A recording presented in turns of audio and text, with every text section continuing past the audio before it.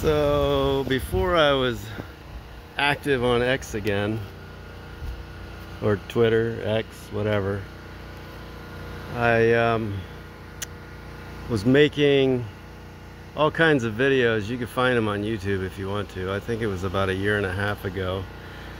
And I was finding trees that fell down naturally and making lumber out of it with my sawmill. I have a sawmill, just a small, cheap $2,000 sawmill.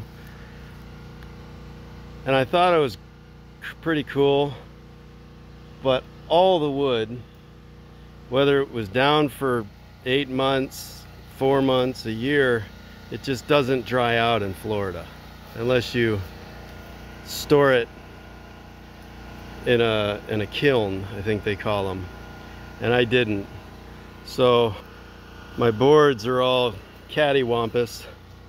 You can't really see it but this one looks like a banana. I was just gonna build another little barn next to my cabin and I think I'm going to tear it down. Um, I'm gonna tear it down and leave the floor because the floor I took a lot of time making the floor. I ran it through the plane for days and days and days. So I'm gonna leave the foundation. I put pressure treated 4 by in the ground so that's all fine. But the foundation the PT the